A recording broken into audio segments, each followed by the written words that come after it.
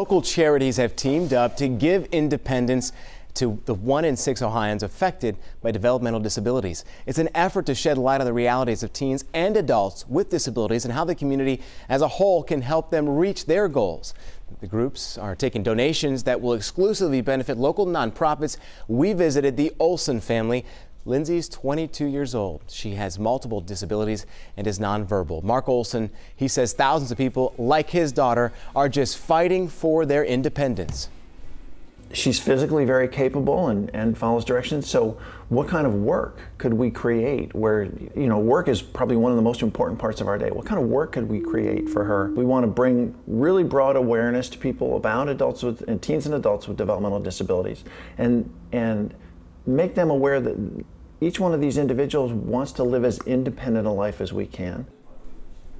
Organizations like the Ken Anderson Alliance, Children's Home of Cincinnati, Easter Seals of Greater Cincinnati, and Melodic uh, Connections will directly benefit from today's donations. All you have to do, check out GiveIndependenceDay.org to donate.